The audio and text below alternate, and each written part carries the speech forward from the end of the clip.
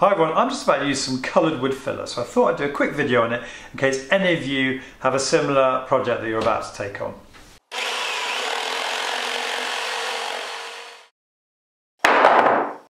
Now, we've all encountered in the past those little tubes of coloured wood filler, which um, just to do little spot repairs and things. They're not very good, they're not two part, it takes ages for them to dry, and they can shrink. Um, the uh, finish isn't brilliant. A lot of you might not be aware that you can get quite a good range of colours in two part wood fillers as well. The reason this job's come up is that I've been routing out these um, mahogany effect wood curtain poles today to allow for a track to be inlaid into the centre of them like this. Um, I won't bore you with the details, it's part of my day job and there's an image coming up on screen now to show you the finished effect. Basically it's like um, a typical curtain pole but it doesn't have the rings over the top which is quite good where you've got to get a pole near the ceiling, um, various other reasons. So problem is while I was routing the pole the cord on the router got snagged on my workbench and when I went to free it the router moved and this is this lovely little dink that we've got left here. So what I'm going to do is using a bit of Perspex I'm going to wedge that in the pole with a bit of wood that way I can put some filler into this hole here. But I've got to match the colour of this mahogany pole I had to do a bit of repair work about six months ago, so I got these wood fillers. So I'm going to have a quick run through them today to show you the sort of things that are available. So I bought this one online. This is dark oak. I'll put the details of where I got it from in the description at the end of the video. And you've got that lovely dark brown colour, which is not far off what I need actually for this pole. That's the colour I used last time because I hadn't actually got these, uh, these didn't arrive in the post in time for me to do the repair. So, having a look at these, these are from Metolux, the last one was from Spray Shop. This is dark oak teak colour and I'm just going to show you how much these vary. So that's dark oak, that is dark oak and you can see the difference in the colour. Right here we've got dark mahogany. They all come with a little pot of um, activator and a little spatula. So this is dark mahogany and that is again very different from the dark oak, slightly redder colour. Last but not least I've got here black oak. Now there are a large range of colours available um, I think Metolux have quite a large range. And the big tin of dark oak wood filler you see in this video actually came from Wood Finishes Direct. You see here on the screen now, they've got loads of different colours. Again, I'll post a link to those at the end of this video and there's a little visual coming up on screen now but that's the black oak so I thought what I might do this evening to make this video a little bit more interesting rather than just going straight for this one which is the most obvious colour to match up with this pole I'm going to mix some of these colours together to make our own bespoke colour so I've got my little block of wood here I quite like the red in this dark mahogany. So I'm going to stick a bit of this. I don't need much wood filler for this repair as you could see at the start of this video. So I'm going to put a tiny little bit of that on there. say tiny, it's not tiny really, is it? It's quite a lot. And then I'm going to add to that a little bit of the black oak because I want a much darker colour. Right, let's get that mixed up and see what happens. I haven't put the activator in yet. I'm just trying to get the colour right.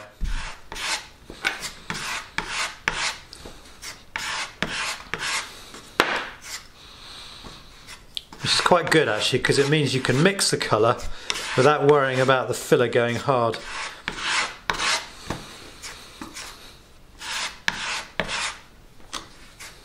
Right, that's not looking too bad, but I want a bit more of the black there.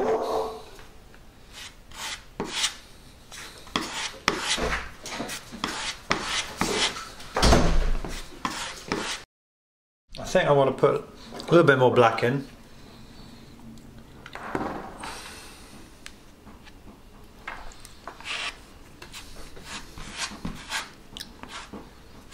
The only downside to mixing it like this because you very quickly end up with a much larger amount than you actually need for the job.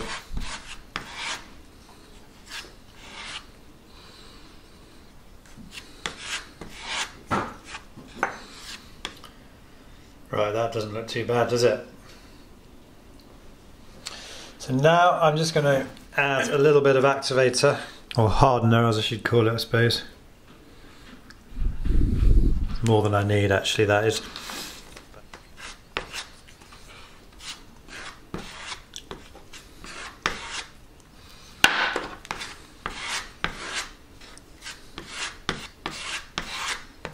So now using my Continental filling knife, it's a great little tool this gives you a real sense of precision when you're filling things. I'm just going to squeeze some filler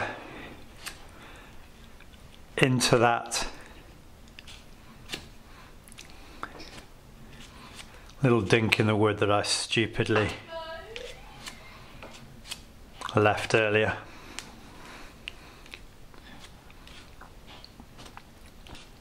Really good press, make sure I could put plenty in there.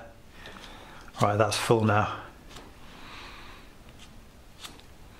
I want to get this as close as it can be to the finished depth because I don't want to have to do too much sanding. I'm just going to wipe off the residue because again I don't want to damage the rest of the pole which has been lacquered in preparation for fitting. Right, the filler's gone hard. It's about five minutes after I did it. So I can now take out the little packer piece I put in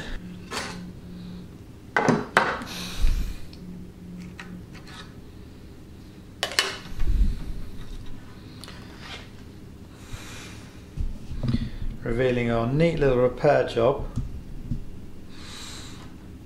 Oh, look at that shiny, I wish I could get that shiny finish on the front, which is where I really need it. Look at that. I'm just going to trim off that little bit of excess filler we've got down at the bottom. Now, I don't really want to sand this, so what I am going to do is using a Stanley blade, I'm just going to very gently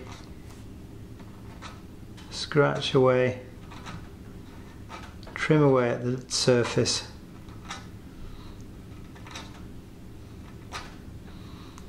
Until the filler that I've just added is completely flush.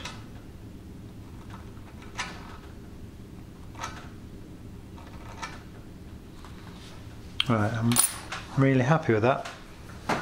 Now, obviously that has gone from being a lovely dark brown colour to a bit of a matte colour. So what I'm going to do now is put some of this Colron liquid scratch cover on just to bring the sheen back onto the bit of filler. Um, got it from B&Q I think. It's really good. It's almost like you feel like you're almost a bit of a French polisher doing this. So I'm just going to put that onto the area that I've just filled a little bit wider because I can polish it off and leave that for about 20 minutes to um, sink in and do its work. So the liquid scratch cover has now gone off. I hardly see it, it's just there look. And so what I'm going to do, using a lint free cloth, which again you can pick up at DIY stores, I'm going to give that a buff now